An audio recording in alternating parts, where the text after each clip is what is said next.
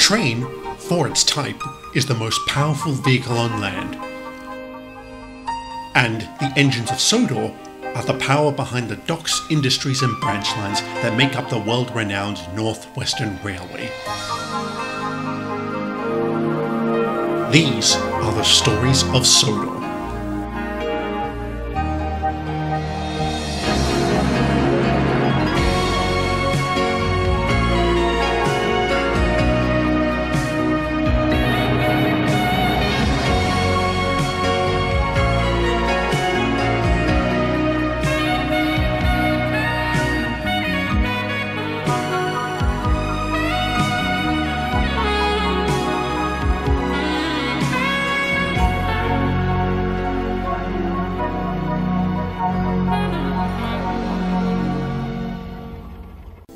12 miles west of York stands Railgate Prison, wherein those non faceless vehicles who have committed a crime are incarcerated, or shunted to use the correct term. I've talked about the vehicle criminal justice system in Great Britain on a previous occasion, mentioning how 30 days is the maximum sentence we can receive.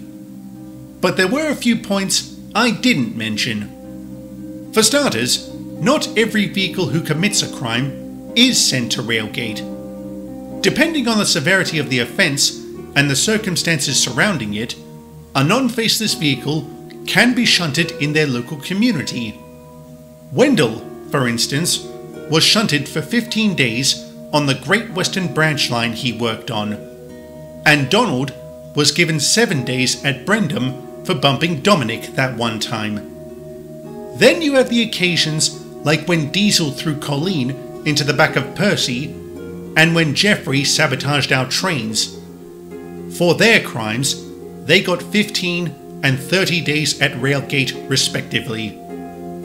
Being a nor'easter, I am of course biased against the middies, and would naturally highlight every instance where they got into trouble with the law.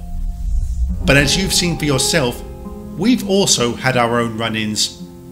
One such incident, however, is more well known than the others, and I'm going to be talking about that today. But before I go any further, I have to again mention my story about the boulder. As I said, its destruction caused all manner of problems on Sodor. With passenger services severely disrupted, more buses began arriving on the island to compensate.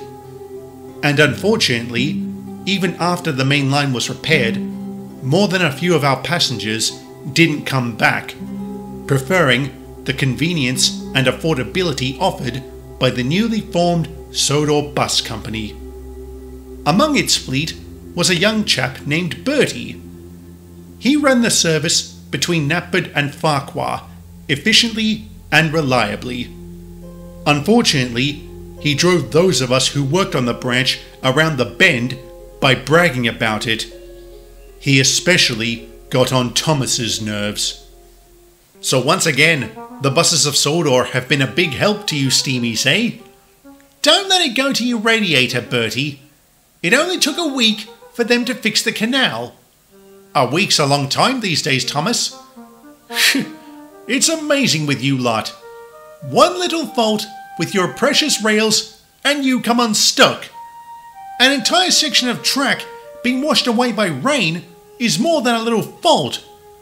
But you can be sure, if something like that had happened on the roads, we'd just find a way to go around. You engines really are hamstrung when you think about it. Well, I'm not thinking about it. I'll choose rails over roads every day. It's your loss, mate. Your roads aren't better, you know. They cause friction. Our rails don't so we can go faster than any of you? yeah, sure. And I'm the Emperor of Persia. Just you wait and see. I'll show you how fast an engine can go. Provided your rails don't get washed away again. Ha ha ha ha! He boils me up so much, I could probably run without a fire. I'd like to show him. Me too. Me three. One of these days, lads, it'll happen. One of these days.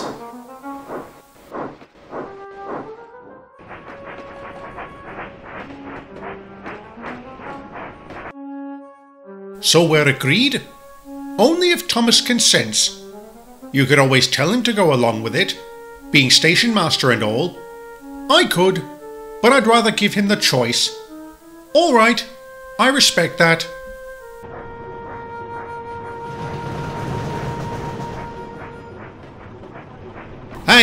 Thomas, you got a moment? What do you want, Bertie? I'm taking a trainload of hikers up to Ffarquhar. I know. Knapford Station Master told me. Willie? What are you doing here? Thomas, have you met David Hanson, owner of the Sodor Bus Company? Can't say I have. Good morning, Mr. Hanson. Good morning, Thomas. Nice to finally meet you. So, what's going on? Well, David here just so happens to be my cousin. We were talking last night and were wondering who would win between one of his buses and one of our engines. And Bertie told me about your conversation at Ballahoo yesterday, and we decided why not find out? What are you suggesting? A race. First one up to Ffarquhar wins. How much have you got riding on it, Willie?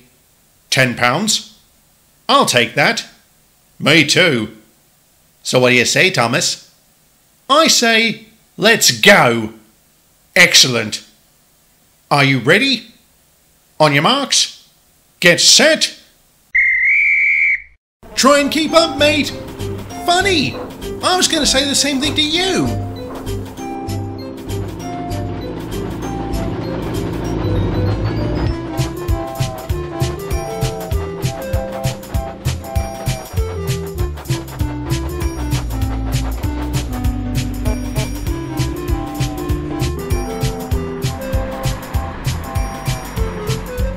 Oh, bother! Why didn't I take the bridge? Not a smart move, Bertie! Ha ha ha! Just you wait, Thomas. I'll catch up.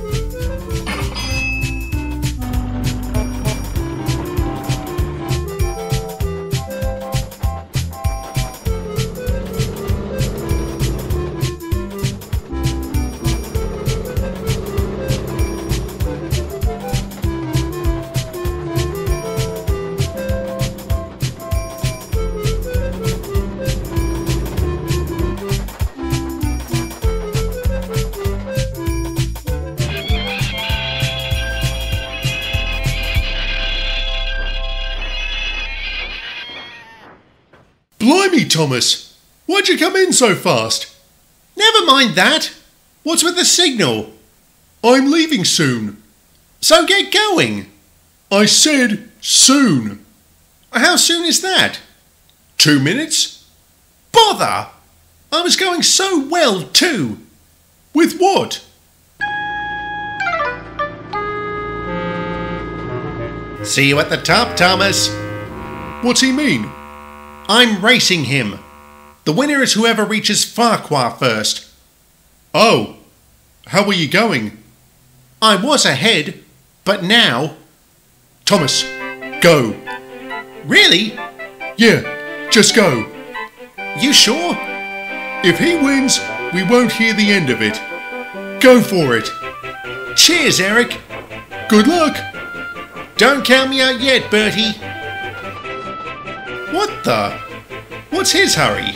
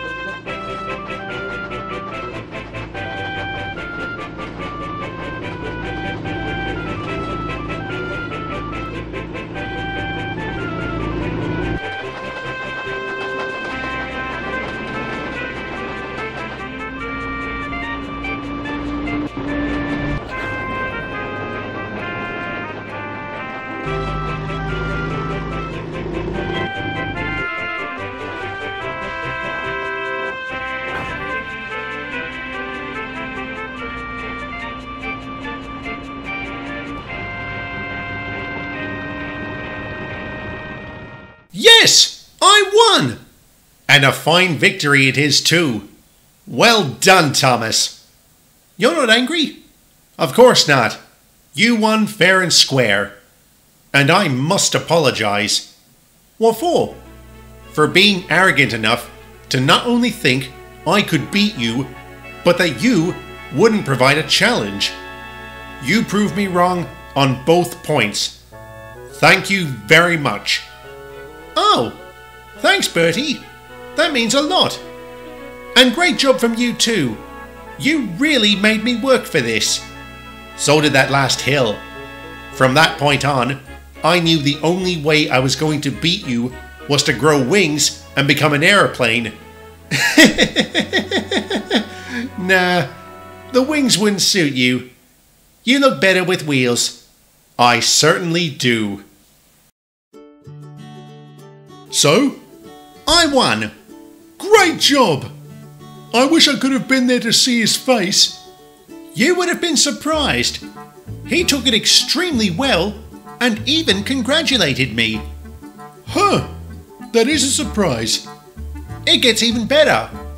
We got to talking after that, and he's a real good bloke. He said he'd be happy to call me a friend and to race me again. I said the same thing to him. Tell me I didn't just hear that. Oh no.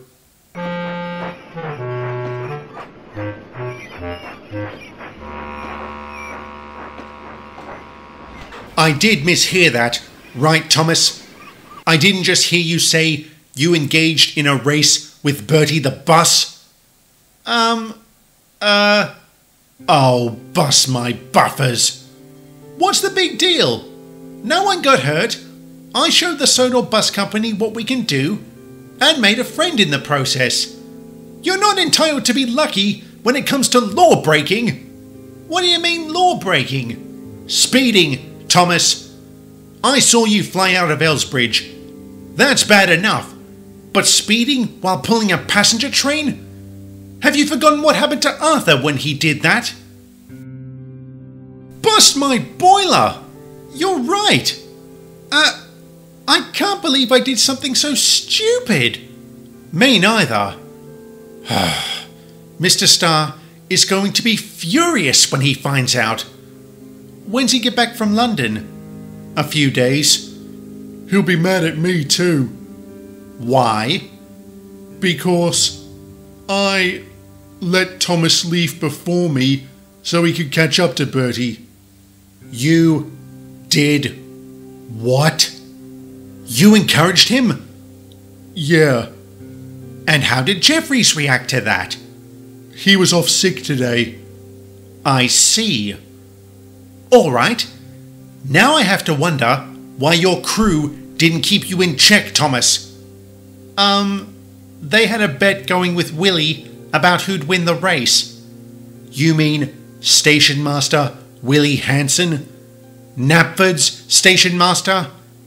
Yeah, his cousin owns the Sodor Bus Company. Was anyone else complicit? The Fat Controller, maybe? Edward, settle down, will ya? You're getting worked up over nothing. This is not nothing, Thomas. This is serious. With so many people who know about this, it'd be a miracle if the police don't find out. And it was seemingly a miracle. Two days went by, and nothing about Thomas and Bertie's ill conceived race became public. However, Mr. Starr would find out. The day he returned from London, following an important meeting he and Mr. Zorro had had with the railway board, Thomas and Eric told him what they had done. Our director was understandably and expectedly angry he promptly took them off passenger duties and stuck them with goods and shunting work. But not before ordering them and myself to stay quiet, as such a stupid action was bound to cause controversy for the LNER.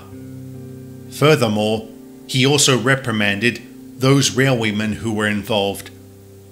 Another two days went by, and the details of the race continued to remain a mystery I sometimes wonder if we should have borrowed the lucky lamp from the Mid Sodor Railway. Maybe then our luck on the matter wouldn't have run out.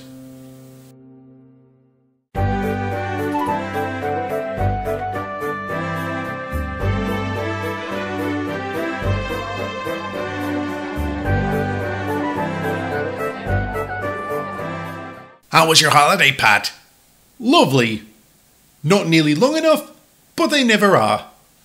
Anything exciting happened while I was gone? Only if you count the race between Bertie and Thomas. Ay, Dios mio. Do not get him started, Patrick. Why don't you believe it, Carlos? I highly doubt Thomas would be so reckless with a passenger train. The way I hear it, there was money riding on it. What good is that to an engine? Excuse me, does someone want to tell me what's going on? Thomas and Bertie? Racing? Are you sure? That's what he said. The rumor's been floating around for nearly a week. Do you think it's possible? Thomas has done brash things before. But this? We'll have to investigate, Mickey. I know, Pat. I'm really hoping it's not true. Are you serious, Bertie? No word of a lie, Thomas. It's a real thing. What's it called again? The drunkometer. And it can tell when a person's drunk? How? I don't know the details, but they're trying out this gizmo in America to catch drunk drivers. And I hope they roll them out here too. The amount of times I've almost been ridden off the road by a drunk is ridiculous. Yes, because drunkenness is the only cause of accidents on the roads. It's never negligence or stupidity. What do you mean, Chief? Is something wrong, Mickey? That depends. Did you two really race one another up to Ffarquhar last week? I don't believe it. Chief, it was my fault. I goaded Thomas into it. But I went along with it. You're both to blame, so don't bother falling on your swords. this is a very serious matter. I have to inform the police. We know. I don't know you well enough, Bertie, but Thomas, I expected better from you. I'm very disappointed. Me too. Joey promptly took Thomas and Bertie into custody, and a magistrate from the Ministry of Transportation was summoned. He sentenced them both to 10 days in Railgate on a number of charges, ranging from criminal endangerment to speeding. And I'm sorry to say, the fallout from this was very severe. A larger investigation was opened that saw Mr. Starr reprimanded by the Railway Board for failing to report this to the police. Thomas's driver and fireman were suspended, as was Knapford's station master, Willie Hanson. The Sodor Bus Company had to pay a substantial fine and was almost put out of business. And finally, Eric was shunted in the sheds for two days. Every step of this investigation appeared in the papers, the coverage shattering our public image. Needless to say, the middies delighted in this and didn't hold back in pouring salt into our wounds. You must be heartbroken that Thomas got done in, Kate. You can't talk, Diesel. You've been to Railgate too. I'm not there now. Give it time. I'm sure that'll change. Blow it out your smoke box.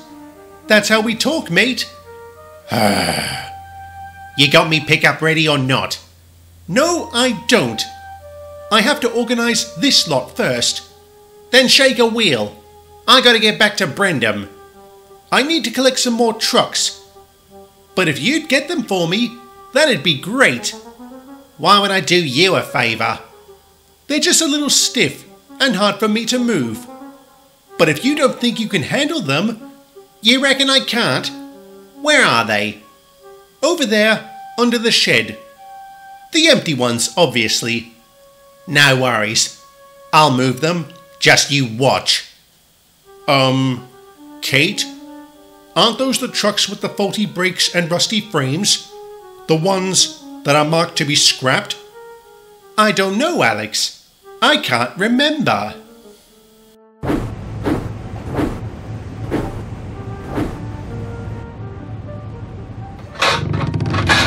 Blimey, this lot is stiff. I did warn you, Diesel. Do you need a hand? No, I got this. Just watch. Come on, move it. Oh. Come on. Maybe you should take it easy, Diesel. Rubbish. I got. Ah!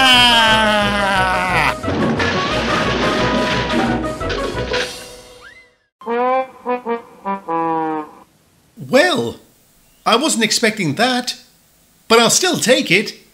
You'll take what? You knew there was something wrong with these trucks? So did you. I did say they were a little stiff. Did she also tell you they weren't to be moved because they're going to be scrapped? No, she didn't. You have an explanation for this, Kate? Any particular reason why you didn't tell Diesel those trucks were under quarantine? That I clearly told you not to let any engine other than myself touch them under any circumstances? No, Chief. Then why let him touch them at all? It was just petty payback, sir. Payback. And that's worth putting an engine and their crew at risk. I'm sorry, Chief. Not as sorry as you're going to be when Joey gets here. Ha ha! You're for it now. Belt up, Diesel. Yes, Chief.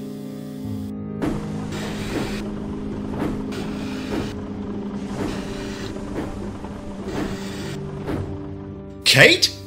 What are you doing here? Pipe down, number one. Yes, ma'am. Whew. She was pleasant. Believe it or not, she's one of the good ones. You're joking. I wish. What are you doing here? Oh, I played a prank on Diesel and it backfired.